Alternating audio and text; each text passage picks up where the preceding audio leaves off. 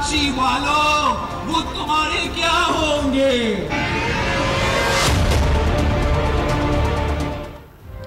मकबूल ने तीरों की बौछार कर दी। पीपल्स पार्टी की बुनियाद नफरत है। उधर तुम, इधर हम का नारा लगाया।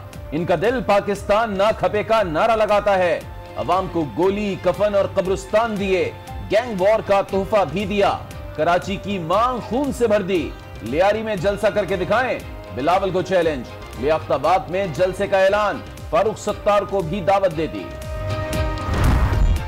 खान साहब का तो एक ही एक धरना काम न करना, और उधर सिंध में दारी साहब का मरसू मरसू सिद्धन डेसू मैंने कहा मरसू मरसू कम ना करसू जरदारी का नारा है, मरसू मरसू काम न करसू कप्तान का धरना, काम न करना। शहबाज शरीफ ने मुखालफी बड़े हाथों ले लिया। करप्शन में डूबे अफराद नसीहत कर रहे हैं। अवाम सीधा निज़ाम बदलने के लिए उठ खड़े हों।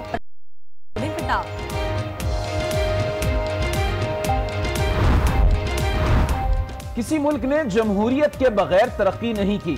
पार्लियामेंट सुप्रीम होगी तो मुल्क आगे बढ़ेगा। वज़ीर आज़म का खिताब। इस्लामाबाद के नए हवाई अड्डे का अफ्ताह किया। पीआईए की पहली परवाज भी पहुँच गई। कहते हैं गवादर एयरपोर्ट भी रवा साल मुकम्मल हो जाएगा। लीग आज साहिबाल में सियासी ताकत दिखाएगी। नवाज़ शरीफ, मरियम नवाज़ और हमजा शहबाज खिताब करेंगे।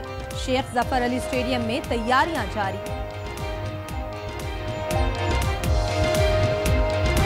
पाकिस्तान समेत दुनिया भर में मजदूरों का दिन मनाया जा रहा मेहनत कश के आँगन में खुशहाली का फूल न खिल सका। आज भी रोटी रोजी के लिए परेशान है।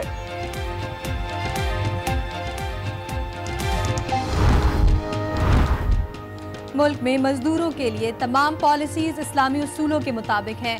सदर ममनून हुसैन का पैगाम, मजदूरों के तहफ़ यकीनी बनाएँगे वज़ीर आज़म का आज़म मुल्क भर में तकारीब और रैलियाँ। मजदूर मजीद मजदूरी करेगा। हुकूमत ने पेट्रोलियम मसनुआत के दाम बढ़ा दिए। पेट्रोल एक रुपए सत्तर पैसे डीजल दो रुपए इकतीस पैसे और मट्टी का तेल तीन रुपए इकतालीस पैसे महँगा हो गया। आवाम धड़क उठे। इनको चाहिए कि पेट्रोल की कीमतों को कम करें वरना ये कि आवाम जो है वो रोडों पे आएगी। मतलब बढ़ाने को वो दस दस ग्यारह ग्यारह रुपए बढ़ाते हैं बारह बारह रुपए बढ़ाते हैं। कम करने को दो ढाई रुपए डेढ़ रुपए। पहले कर्जों का बोझ है इसके बाद आप पेट्रोल का बोझ। मजीद डाल के जा रही है इनको शर्म आनी चाहिए। वाजी तौर पे प्राइवेटाइजेशन की मुखालिफ है।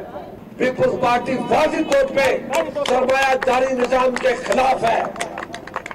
पीपुल्स पार्टी वाजी तौर पे मजदूर किसान नौजवान के हकूक की अलम बरदार है। इदारों की निचकारी नहीं होने देंगे। मजदूरों की तरक्की के बगैर मुल्क तरक्की नहीं करता। खुर्शीद शाह का सखर में खिताब।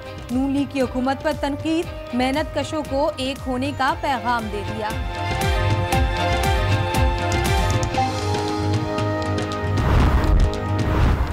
पंद्रह सोलह हज़ार में का गुजारा नहीं होता वज़ीर आला सिंध का एतराफ। मजदूरों की वजह से मुल्क चलता है। उनके साथ खड़े हैं। सानह बल्दिया के मुतासरीन को माली इमदाद दी जाए नई हुकूमत को मशवरा दिया। अमर बिलमारूफ व नहीं अनमुनकर के नुकसान क्या हैं? पश्तून तहफ़ मूवमेंट पर तजिया लिखें। हैबर पख्तूनख्वा के इम्तिहान में अनोखे सवालात। की गलती है टेक्निकल बोर्ड का मौकफ।